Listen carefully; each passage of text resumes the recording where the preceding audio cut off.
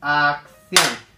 Bueno, en este episodio voy a hablar de mi peli favorita, ever, que es Alarma en el Expreso de Alfred Hitchcock.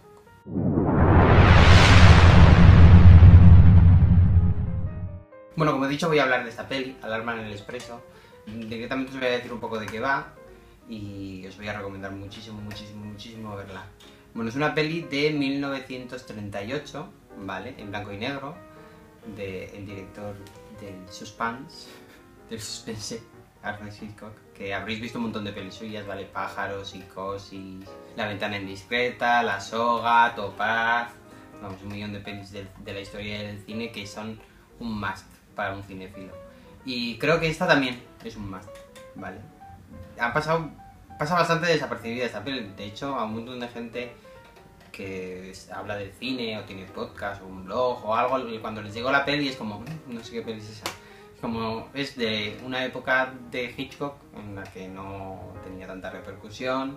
Es una peli británica, en la que nos cuenta cómo un tren llegaba a Antrica, ¿vale? Es un pueblo ficticio de Europa de central y bueno, nos cuentan como para a causa de la nieve, entonces se alojan todos en una especie de hotel al lado de las vías del tren y nada, pasan la noche ahí, una chica conoce a una señora mayor y al día siguiente vuelven al tren, pero antes de montar al tren le cae una maceta en la cabeza a la chica, ¿vale? Entonces se montan en el tren y de repente, cuando ella se queda dormida, la señora mayor desaparece. Y entonces empieza a buscarla por el tren, para arriba, para abajo, para arriba, para abajo, y nadie conoce a la, nadie ha visto a la señora, ni nadie conoce a la señora, hasta que de repente aparece alguien que dice ser la señora, pero no es. Es una mm, película de espionaje, ¿vale? Pero no espionaje de mm, investigaciones ni nada, no, es en el tren.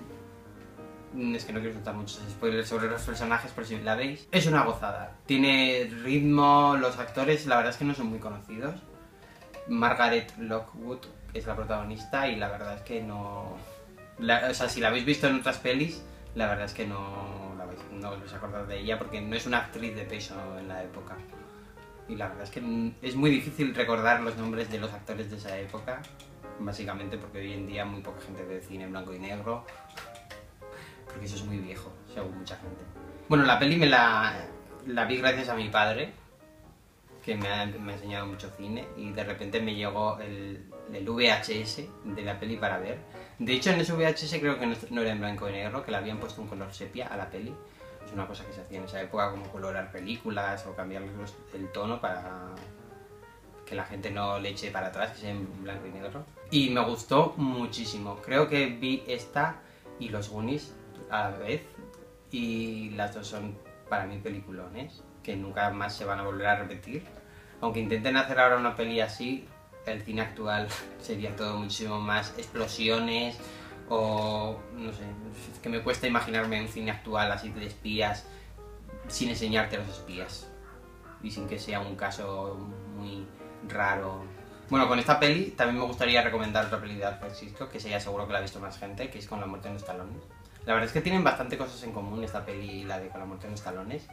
Espías, una persona normal, así porque Cary Grant hacía de un señor normal que de repente se veía envuelto en esa circunstancia. En esta película es exactamente igual. La chica se ve en una circunstancia bastante rara y no sé, eh, una cosa es hablarme en el expreso que pasa solamente en el tren y con la contra los talones es una cosa a, gran escala, era una producción bastante más grande, pero le veo muchas cosas en común y si os gusta una, seguramente os gustará la otra.